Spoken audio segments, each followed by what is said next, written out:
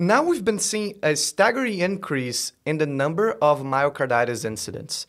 So a lot of, especially young males, were having myocarditis. And your book was published in 2021, so you did not have the opportunity to talk about the potential negative effects of the vaccine and also from the COVID virus. So what is your opinion toward that staggering increase towards myocarditis, which is an inflammation of the myocardium?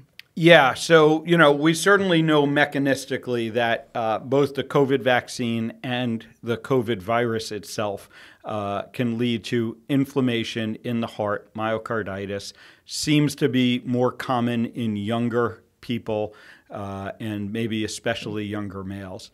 Uh, more broadly, you know there did there did seem to be a noticeable uptick in heart disease in general throughout the COVID pandemic. Mm-hmm. Um, now, I think there are a lot of competing issues here, right? We have yeah. uh, this rising wave of metabolic disease that we've been talking about. Uh, and in a lot of ways, I think COVID uh, helped to uh, unearth that, right? Or, mm-hmm. or maybe make it even more apparent. Yeah. And, you know, one of the things I look at is that huge lost opportunity because it was obvious from the early days of COVID, right? Those first cases, you know, if people think back coming out of China and out of Italy and then New York, um, that the people that were getting sickest and the people that were dying were metabolically unhealthy.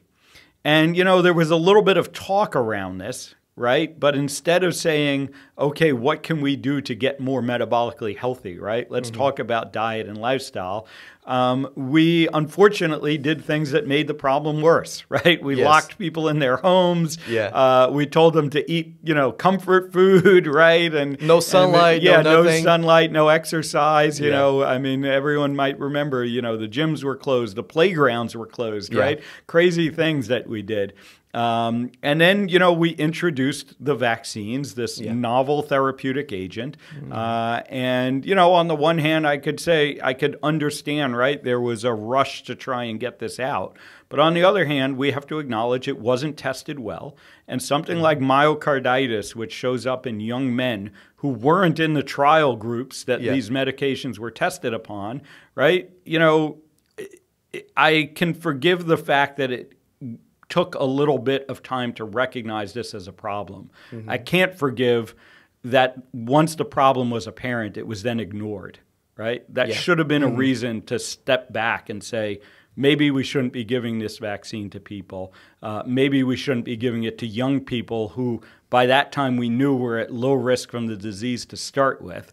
Right. Yeah. And again, maybe we should have just used this opportunity to say the best way to protect yourself against this uh, pandemic was to be metabolically healthy. Yeah.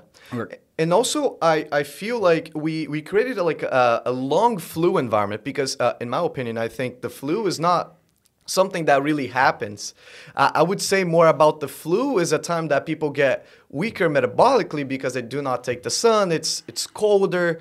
They they eat more comfortable foods, and that's the same thing that happened during COVID, but it, in a long span for about one year, two years. I remember all my sophomore year that I wouldn't go to school. I would sleep all day, not even watch the classes, for example, and just eat comfortable food. Uh, that was that was my routine at the time, and I believe that was the routine from the majority of people. Despite the fact that people got even more stressed because many of them lost jobs, many of them had complicated conditions, I would say, financially spe- uh, specifically. And that also leads you to go um, displace that um, stressor towards food, for example. That's what many people do, unfortunately. And I think that's what really brought the problem from uh, the vaccines and also, I would say, from, from myocarditis itself, because um, that's one of the things that I talk with Dr. Neil Nathan, which is a mold um, expert, for example.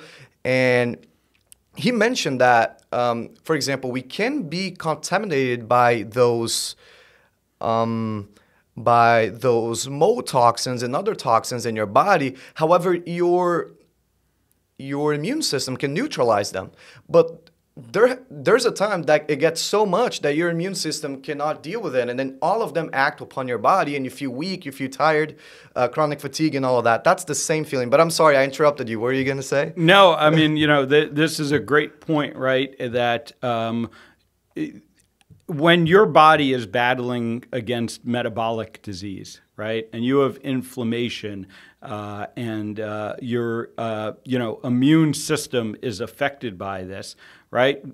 You're exactly right. When other things come along, whether it be a virus or a mold toxin or some, you know, whatever it might be, right? Your body now doesn't have the capacity to fight that like it should.